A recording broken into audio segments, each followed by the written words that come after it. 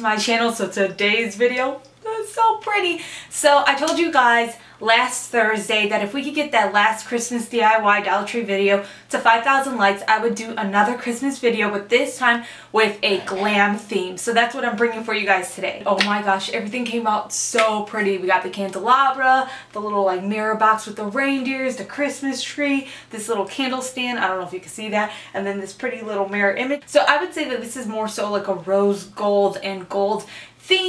Um, I was really inspired off of the like rose gold ornaments that Dollar Tree has been carrying the past couple of years and also these really pretty flowers like I really like the color on these flowers so that's the theme I wanted to go with. So I hope you guys enjoyed this tutorial. If you do please give it a thumbs up. If we could get this video to 5,000 likes I will have another Christmas DIY video out for you guys soon with another theme. So far I've done a buffalo check theme, a farmhouse theme, and now the glamorous theme. So if you have any themes you would like to see done make sure you leave them down in the comments below. So again if we could get it to 5,000 5,000 thumbs up. I will have another one of these type of tutorials out for you guys soon.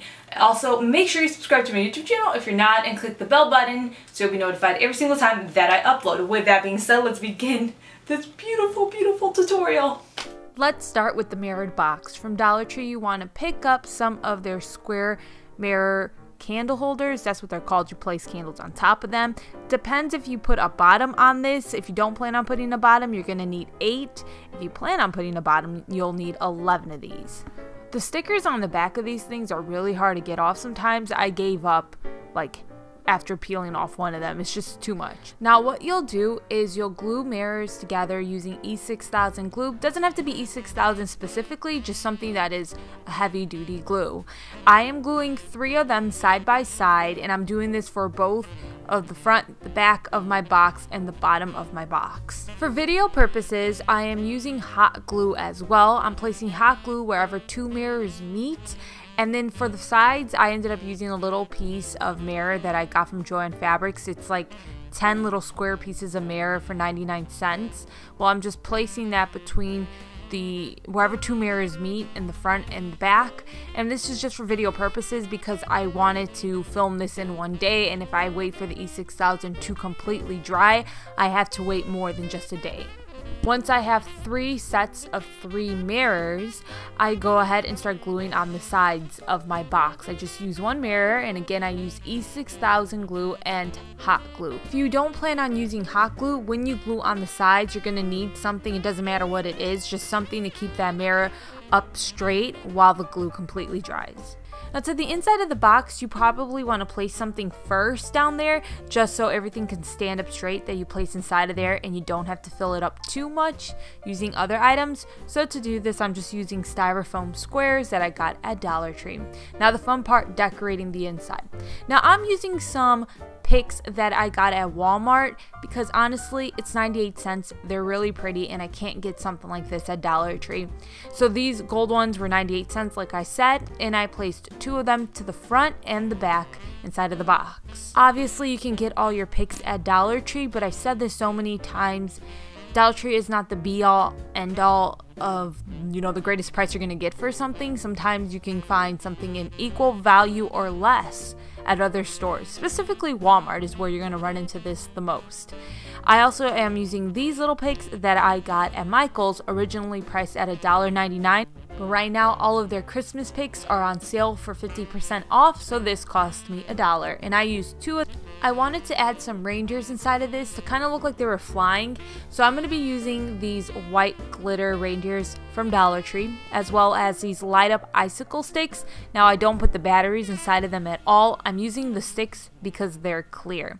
Now what I do is I glue the ornaments to the bottom of those icicle sticks using my hot glue gun, but I glue each of them in a different angle so that they're all kind of just looking like they're going higher, you know, like up into the sky. I don't know if that makes sense, but like I said, I just didn't want them all to be exactly the same.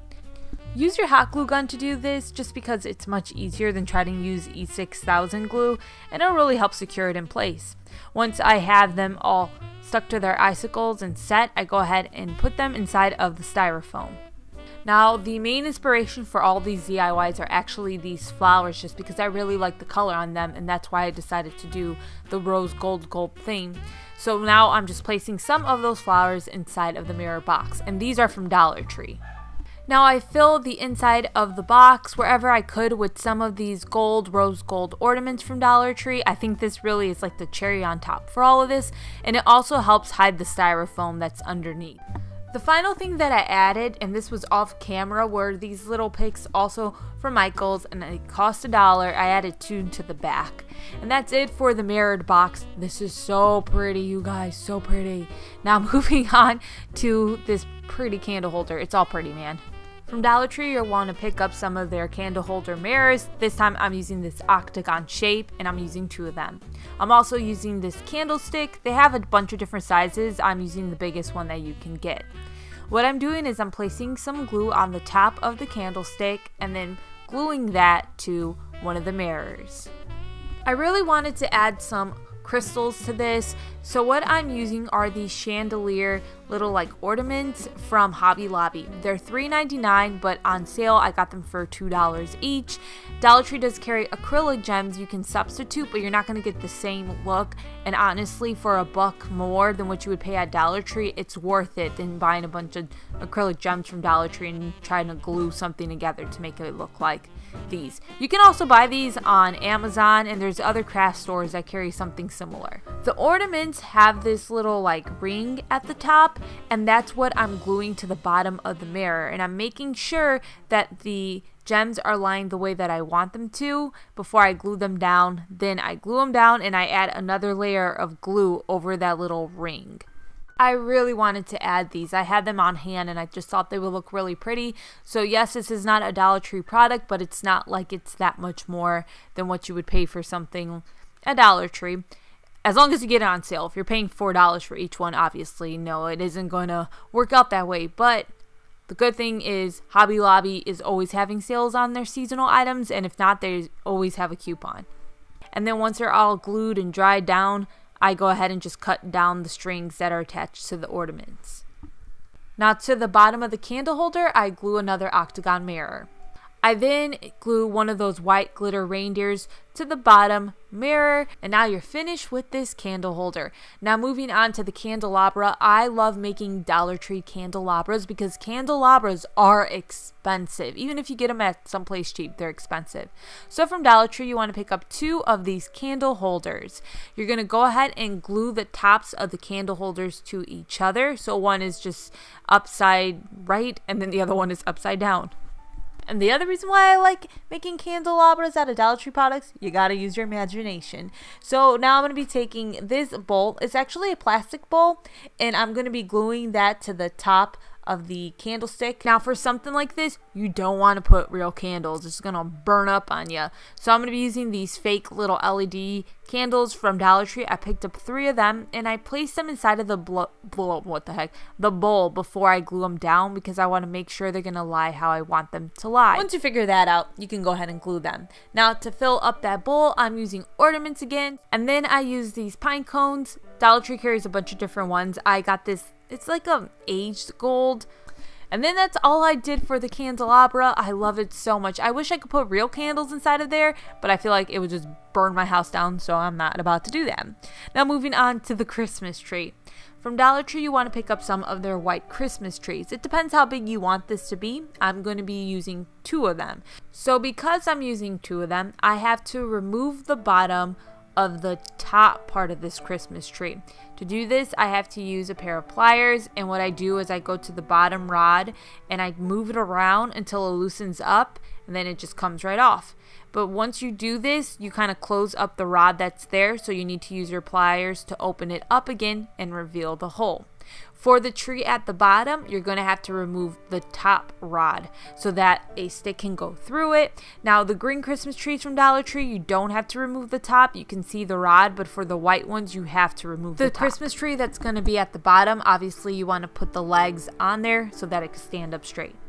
To attach both Christmas trees together, I'm using this wooden stick that I got at Walmart for 39 cents. You can even use the little wood dowels from Dollar Tree between the two Christmas trees and just kind of glue it in place.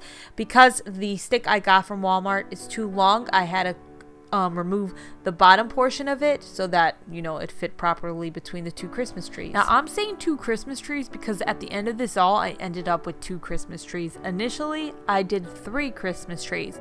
To secure the Christmas trees in place so they don't spin around, use your hot glue gun. To Make it look fuller, I'm using this white garland from Dollar Tree.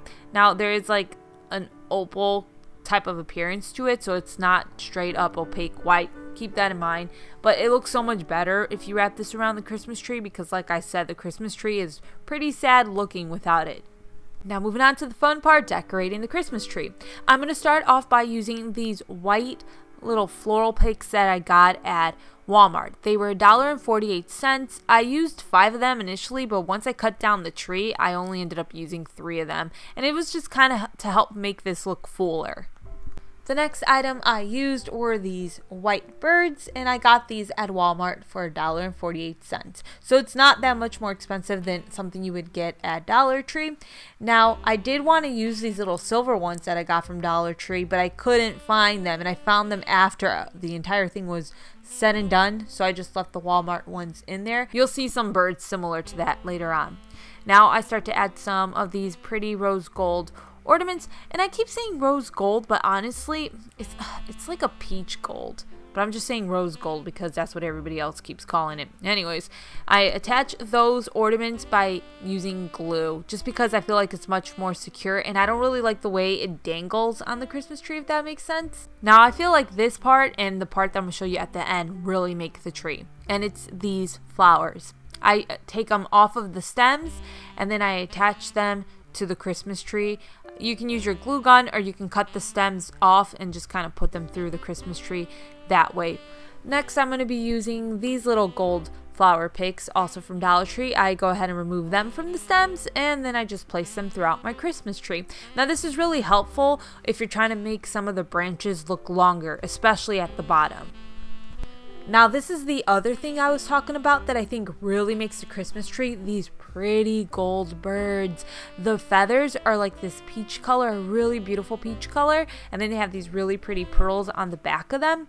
Well, I go ahead and I attach those birds to the Christmas tree. There's a clip at the bottom of them, so you don't have to glue them on or anything like that. Now, those birds, I had the silver ones, and that's what I wanted to use in the Christmas tree but I couldn't find them, so I ended up using the Walmart ones. But Dollar Tree does carry them in silver, and they also have them like red and green.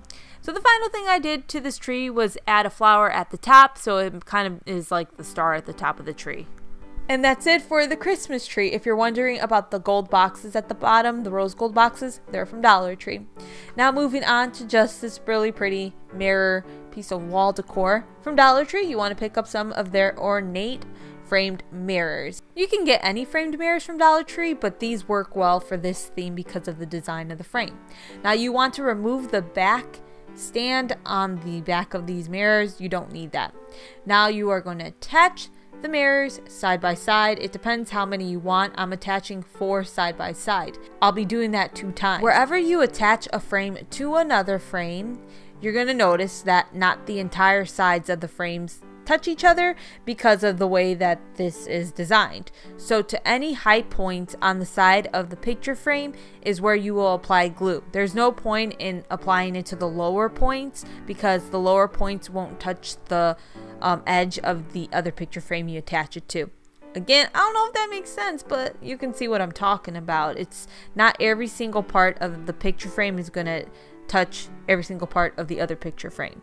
Again, since E6000 takes a while to dry, I'm using my hot glue gun and I'm just applying some of the hot glue on the back of the picture frame wherever two of the picture frames meet. But I don't put too much because I don't want hot glue seeping through there and then this ends up looking funny. So like I said, I made two sets of four picture frames glued side by side and then I attached those two sets together. Again, I'm using my E6000 and hot glue to do this. Now, even if you just used E6000, I feel like the frames, when they're all glued together, it's going to be too flimsy. So I highly suggest using a white piece of foam board that you get at Dollar Tree and attaching that to the back of this because like I said, I feel like it's too flimsy if you try to make it stand straight up. Now, if you're hanging it on your wall, that's an entirely different thing, but I'm a renter, so I can't do that.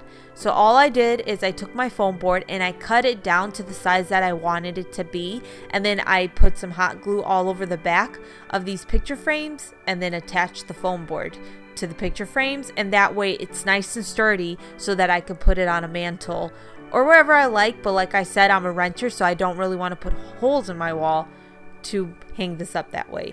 But if you're hanging it up, it's going to be okay with just the E6000. And that's all I did for this mirror wall decor. Obviously, you can put a wreath, and that's what I do a lot if you watch my other videos. You can put a wreath in the center of this and it'll look really pretty, but I just like the way it looked with just the white. But maybe I'll end up adding a wreath eventually. So that is it for this glam Christmas Dollar Tree decor video. I really hope you guys enjoyed it. I love absolutely every single DIY I did and together. It just looks so pretty. Anyways, I will see you guys next time. Take care. Bye.